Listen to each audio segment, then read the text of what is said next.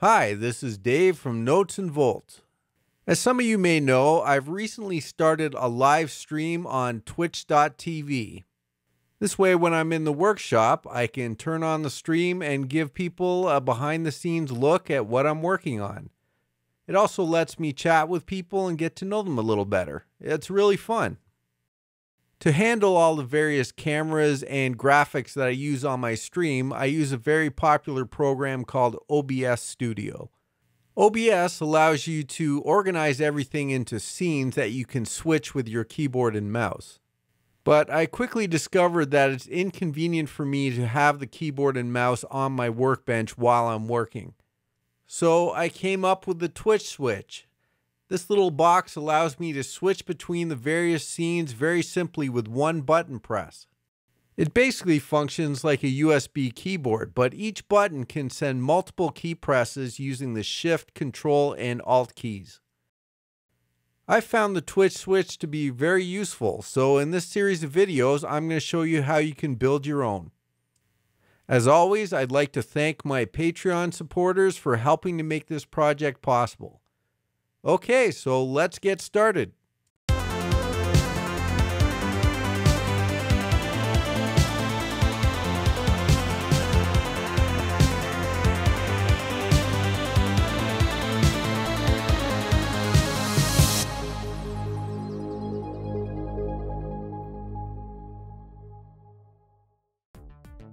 Here's a quick look at the parts you'll need. Visit notesandvolts.com for the full parts list, graphic files, program downloads, and more. I'll put a link in the video description.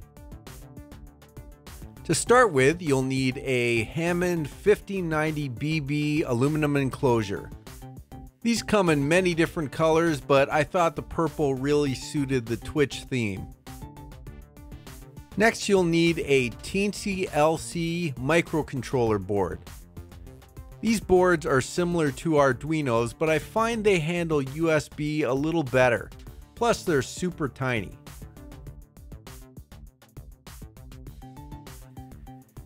Next, you'll need 11 buttons. I went with this style because they're easy to find and they're very inexpensive. They come in many colors, but I went with 10 white ones and one red.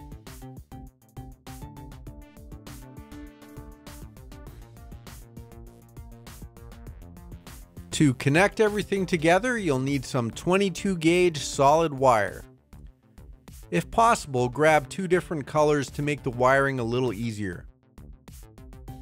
Next, we'll need a short USB panel mount adapter cable.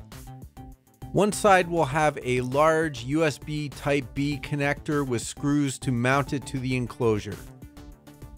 The other end is a micro B connector that will connect to the Teensy microcontroller board. Now that we have our parts, we're ready to start building. We'll start by marking and drilling all the holes in the enclosure. The first step is to print out the drilling template. I'll put a link in the description below where you can download it. Make sure you print it out in full scale, that's one to one size, or else nothing will fit. Now grab some scissors and cut the template out. One template's for the top of the enclosure and the other's for the USB port on the back. It's always a good idea to double check the template against the actual part. I made this template to fit the cable that I bought, but if yours is a little different, you may have to modify the template to fit your particular cable. Now take the template and center it on the top of the enclosure. Make sure it's as close to center as possible. While holding the template in place, stick one side of it down with some masking tape.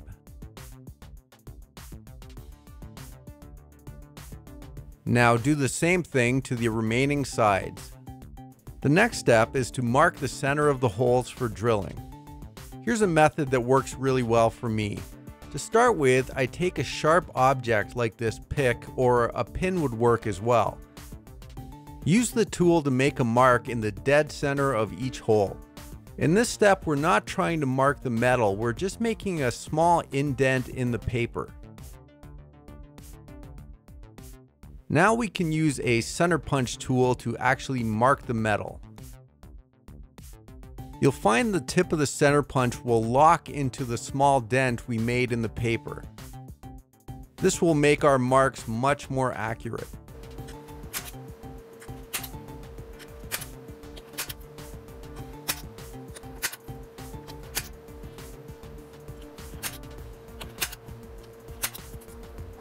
Now we're ready to drill the enclosure. To start off, I'm using a 1 8 inch drill bit to drill some pilot holes. You'll find that the drill bit will self-locate into the center punch marks we made earlier. Once you have it lined up, clamp the work down to the drilling table. I'm using a drill press for this, but you could also do this with a hand drill.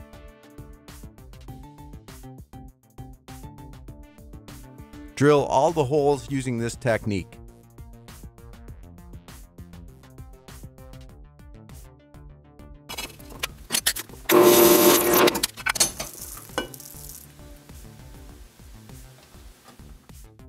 Now we're ready to drill the full size hole. Once again, we'll center the bit in the pilot hole and then use some clamps to clamp the work down. The buttons I used for this project required a 13.5 millimeter drill bit, which is a little odd size, but I managed to find one on Amazon pretty easily.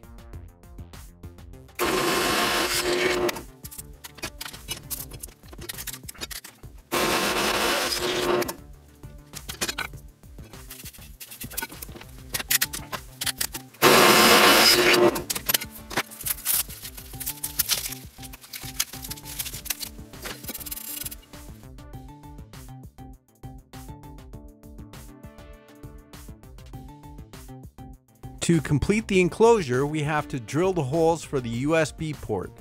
To start, I use some masking tape and a ruler to mark the center point between the two holes on the top of the case. Now I'll use this mark to center the template on the back of the case. Notice that the bottom of the template is flush with the bottom of the case. Now I'll stick it down with some masking tape.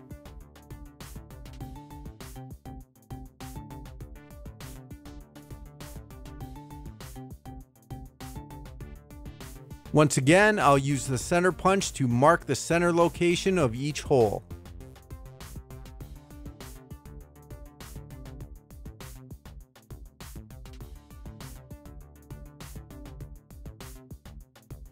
Okay, let's head back to the drill press. I'm going to put some masking tape along the front edge of the case to protect it from being scratched.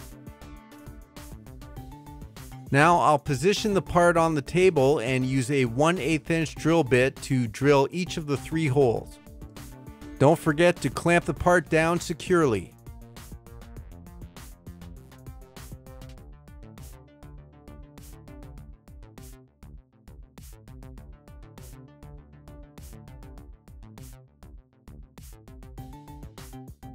Finally, I'll change to a stepped drill bit and drill the center hole to half an inch.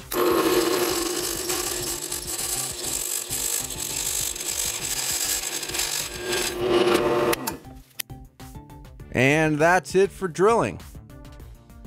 The next step is to create the front panel overlay.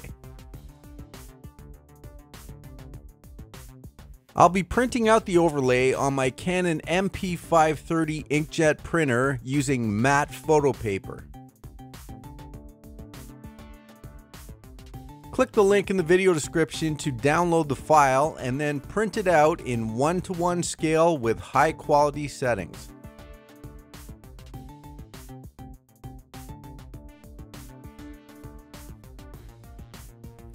Next, carefully cut the panel out using scissors or an X-Acto knife.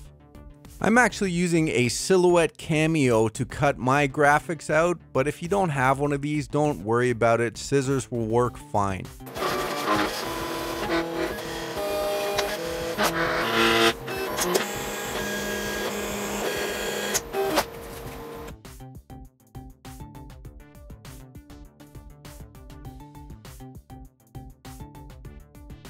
Next, I'm going to use an office laminator to add a protective coating to the panel. This is a standard hot laminating machine that I picked up from my local office supply store. To use this machine, you simply place the document inside a laminating pouch and then place that pouch inside the protective carrier.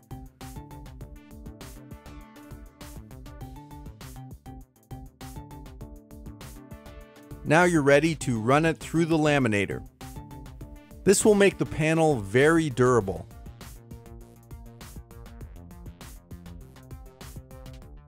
Finally take some scissors and trim off the excess lamination.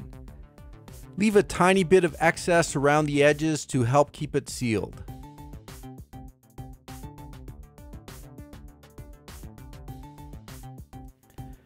That's all the time we have right now, but we'll continue this project in part two. Until then, make sure you visit notesandvolts.com for more projects and tutorials. Follow on Twitter, Facebook, Google, and Twitch, and I will see you next time.